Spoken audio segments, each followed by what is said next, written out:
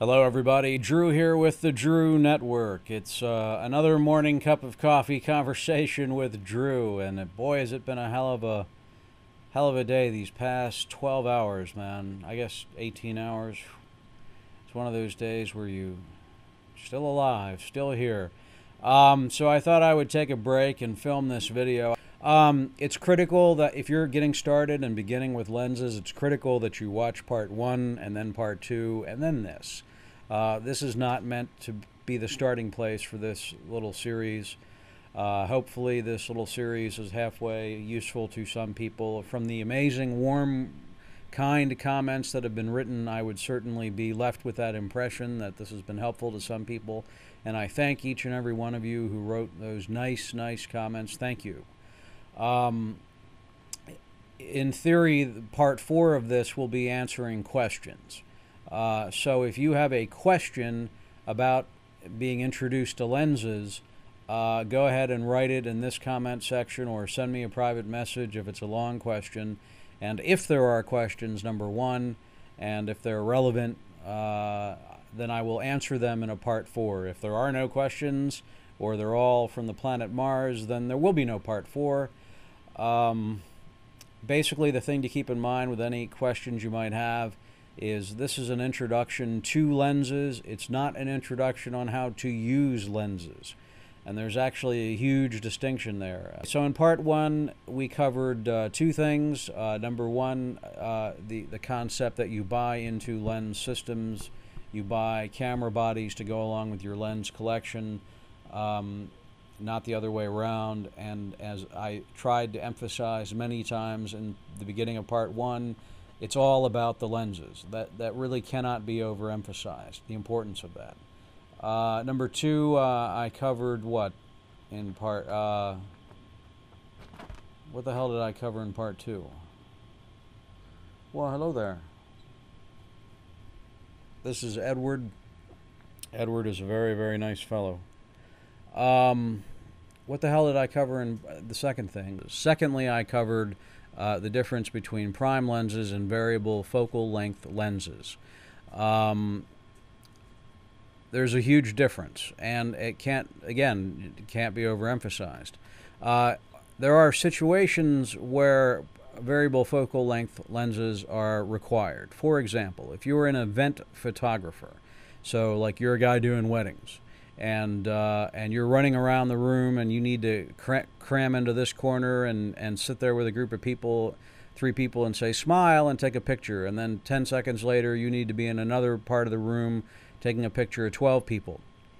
Uh, in a situation like that you may not have time to be changing prime lenses on your camera bodies. So that's a situation where a pro will use a variable focal length lens but as followed up on in part two it's not going to be a super zoom lens for variable focal length. It's going to be a um, 17 to 35, you know, something a, a, reasonable length where the distortion amount is quite a bit less than some super zoom. Uh, secondly, a serious pro who is doing that will probably have two or three camera bodies strapped around their neck, each one with a different lens attached to it. So they may have a prime lens on, on one, like a 35 or a 50 millimeter on one cam camera body, then a 70 to 200 on a second camera body, uh, then like a 17 to 35 on a third camera body. In other words, there are situations where pros are required to use a variable focal length lens. On the other hand, if you're a documentary film producer, uh, or if you're producing an independent feature film, where you are in control of the situation and you can move the camera around and move the setup around and tell people to stand here and move that light there. If you're in control of the situation, there is no excuse, uh, none whatsoever, to be not using a prime lens. Period. Uh, if you are in control of the situation, prime lenses are dramatically better than variable focal length anything. Uh, in part two, we covered uh, number one, what are the meanings of focal length? The general introduction, the mem memory association was that 50% uh, is right in the middle, and 50 millimeter is a normal lens, right smack in the middle. It's not wide, it's not telephoto. Uh, the further down you go from 50 millimeter, the wider the picture gets. So uh, uh, 35 millimeter is wider than a 50. Uh, a standard a standard for a wide angle lens is 28 millimeter. 24 millimeter is even wider. Uh, lenses that go beneath 24 millimeter, again in the 35 millimeter, full frame 35 millimeter equivalent. That's what we're talking about here. Uh, lenses that go beneath uh, 24 millimeter, that starts to get into the weird wide type stuff. Um, so, in any event, beyond 50 millimeter is telephoto. Uh, if you're a news photographer uh, and you can't get close to your subject, then you want a 300 millimeter lens. Um, you know, some of these they, they have more than that lenses, but but anyway. Uh, a, typical consumer uh, zoom lens would be a 70 to 200 millimeter. Then there are expensive pro versions too. Um, uh, so so uh, you know a 200 millimeter lens. That's again if if you're 25 feet across a room taking pictures. Um, so uh, that's what we covered then. Now this is part three, and I've been trying to think of what we need to cover to kind of tie up this conversation at to end here in part three and to make it a meaningful introduction for beginners. And basically, what I'm coming up with is that what we want to cover are the fundamentals of lens formats, uh, lens mount types. Um, now, this is not going to be a lecture telling you, listing to you the different kinds of lens formats, uh, the different kinds of lenses that can mount on other on camera bodies. Uh, what it is going to be is a general introduction to the to concepts. And here it goes. Uh, modern lenses, say from the mid to late 1980s on, modern lenses uh, have electronically controlled elements to them. Autofocus, for example, that's that's an electronic stuff going on. Motors in the lenses. There are exceptions to that. Sometimes the motors are in the camera body, but the point is, is that modern lenses have electronically controlled elements to them uh, exposure metering concepts. Uh, some of the newer ones within the past, say, decade, now have uh, uh, image stabilization, which is a powered camera, which is a powered function. Um, so there, there are various. Um, in modern lenses, you have uh, electronically controlled elements. Canon EF lenses, which are the newest one, EF and EFS lenses. There's uh, a newer one now for the um, mirrorless Canons. I think it's M, but that could be wrong. I don't, I, I don't really know. So 40 something, 35 millimeter equivalent. Anyway, um, so uh, Nikon G lenses. Those are the newest ones from Nikon. Also DX. Those are all you know electronically controlled by the camera.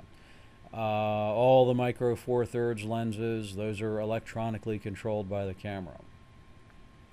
Um, older lenses, say from the 1980s back, mid 1980s back, uh, are they have no electronic elements to them. They are beautiful pieces of, of glass with, you know, beautiful mechanical optics, like this. Uh, this is a I don't know if you can see it in the picture. Uh, this is a uh, Nikon AIS lens. This one this one is actually from 1993, uh, but uh, which because they still make some of these old manual focus lenses. But these lenses uh, go back, you know, to the 1950s, late 1950s. I mean, all, every Nikon lens made from 1958 on will mount on a modern lens, but they have on a modern camera body or a modern adapter to another camera. But Older lenses have no electronic controls. That's the point here. Older lenses have a dial on the body that you can turn that controls the iris. That's called manual iris control, manual aperture control, either one of those two. Um, manual control of the iris. Um, so older lenses have no electronic controls. Newer lenses have electronic controls for newer lenses, and here's kind of the really big point of this now for newer lenses, if you have a, a Canon 50 millimeter one f1.4 EF lens, which is electronically controlled by the camera, you can only mount that on a Canon camera body. A modern Nikon G lens uh, that is electronically controlled by the by the camera you can only mount that on a modern Nikon camera body. uh, micro four thirds lenses that are made by either Olympus or Panasonic that have all sorts of electronic stuff going on in them. Um, they can only be mounted on uh, cameras by Panasonic or Olympus micro four thirds camera bodies. Um, so if you need autofocus, uh, then you need a modern lens with a matching modern body. I cannot buy a modern Nikon G lens and stick it on a modern Canon uh, body with an EF mount and then expect it to autofocus. That doesn't happen. Um, now, you say to me, well, Drew, I, I've been going through DVX User and there are some big names there, and they tell me autofocus is for dummies and consumers, and I'm a pro or I'm going to become one, and so therefore I don't need uh, autofocus. And the answer to that is, is not, your point is not nonsense, but the people on DVX User who tell you this stuff, the response is nonsense. Uh, modern autofocus, uh, there, there, are different variations of modern autofocus. Um, there is uh, uh, the consumer autofocus where you just point the camera body at something and then let the camera decide what to focus on and then take the damn take the picture. Uh, then there's pro autofocus, which means the professional is in control of what the camera is auto-focusing on uh, manually selected autofocus points. And this is a, a absolutely goes to the core of modern photography, especially if you're doing events, uh, any kind of thing where you need to respond quickly. Uh, if you're doing a fashion shoot with models, these models are moving all over the place. Um, uh, and if you sit there and tell them, stand still, freeze, then, then it's an issue for other reasons that I won't get into. Um, so modern autofocus that is controlled by the photographer is necessary for so many different purposes in modern photography. Um, and that's where then you must have uh, a, a camera, a, a lens that matches the mount of the camera body exactly. So you would buy Canon lenses, um, and then to go along with your Canon lenses, you would buy Canon bodies, Canon camera bodies. Now we're going to go back to the old lenses. The old lenses that have that have no electronics in them. This. This is an old not Nikon lens that has no electronics in it. This is a uh, what is is this an 85 f2? No. No, that's the 28 f2.8. Um I'm trying to find an old Canon lens, an old Nikkor lens.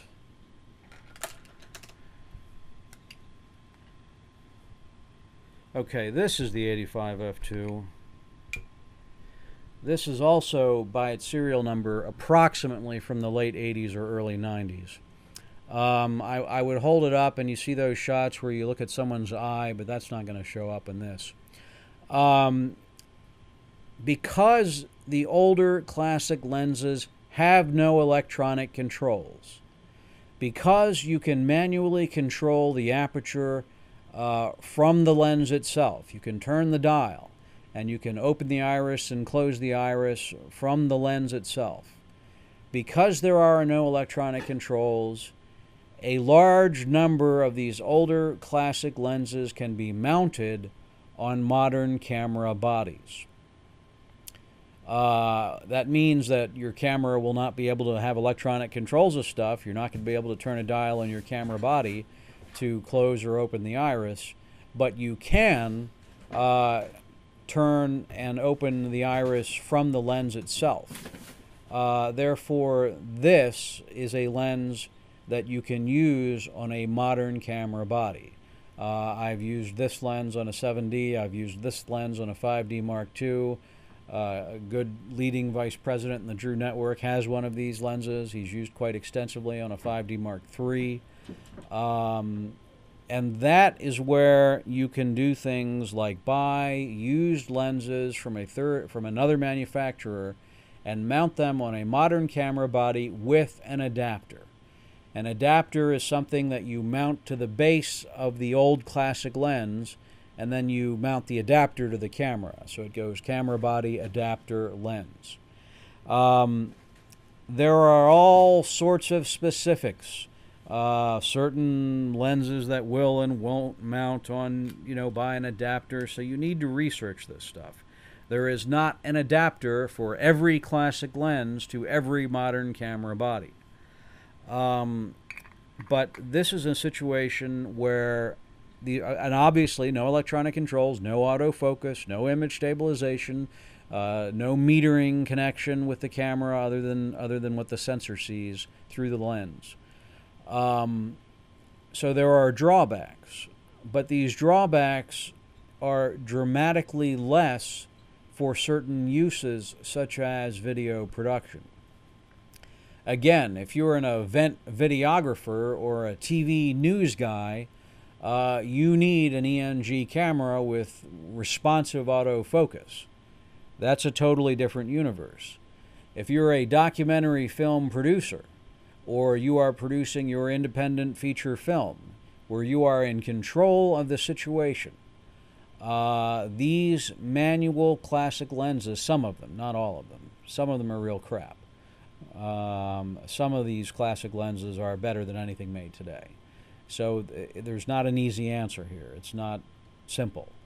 But in some cases, if you are in control of the situation, these manual classic lenses that cost anywhere between, you know, 100 to 1000 bucks deliver higher and better optical performance than 20 or 15 or $30,000 PL mount cinema lenses. Better optics, better resolution, less distortion. And there are reasons for that, which I won't get into right now. So if you are an independent filmmaker, if you are uh, a, a documentary film producer, you are in control of the situation. A serious winning formula is mounting a classic lens to a old camera to a, mounting a classic lens to a new camera body, such as using a classic Nikkor AIS lens with a GH2, a hack GH2 such as using a manual uh, uh, Nikkor classic Nikkor AI lens with a Canon 5D Mark III. Um, but that is that's perfect. That delivers stunning results when you're in control of the situation. If you're running around trying to film baby pictures, man, manual focus is essentially useless. Your kid's running around the room I assume I don't have any, but if I did, I assume they're similar to cats and they're running around the room, they're doing their own thing, and uh, you're not manually focusing, capturing action, uh, regardless of what you read on whose blog um, uh, or forum. So, in theory, guys, I've just covered the fundamentals, the general fundamentals of lens formats. Um, you know, there are third-party camera make camera lens makers like Tamron or Sigma.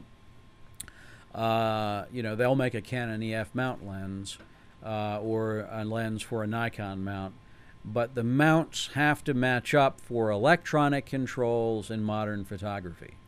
Um, and modern autofocus, guys, is great. If, if you've got some old curmudgeon old time photographer who lives in a hole in New York City who tells you, yeah, auto I can't do a New York City accent. Autofocus sucks. It doesn't focus on what you want it to. Uh, nonsense. Modern autofocus is, is, is stunning. Uh, in fact, uh, one I think it's lensrentals.com. I think that could be totally wrong, so don't run to that link. But one of these lens rental houses just came out with a it was a four-part article where they did all ran all sorts of scientific tests and they actually took apart camera bodies and they examined autofocus and they compared it to every and they there are different kinds of autofocus if you get into the specifics. And they went through this massive project and the conclusion of this massive product project was and this is not a joke they concluded after after weeks of research and scientific investigations and tearing apart camera bodies and lenses they concluded modern cameras with modern lenses autofocus faster than older cameras with older lenses. So there you go, folks. Uh, uh, if you need autofocus, which you need it sometimes, it's for certain uses you got to have it. Uh, then you must match up your lens mount with your lens camera body. Got to.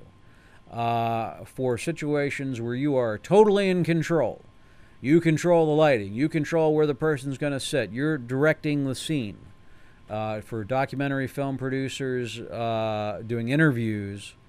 And I guess I should have clarified that. If you're a documentary film producer trying to film stuff going on, that falls into the event photography or videography or filmmaking scenario or ENG, electronic news gathering. Um, in that situation, for a documentary, then you would need an ENG camera or something with response, fast and responsive autofocus.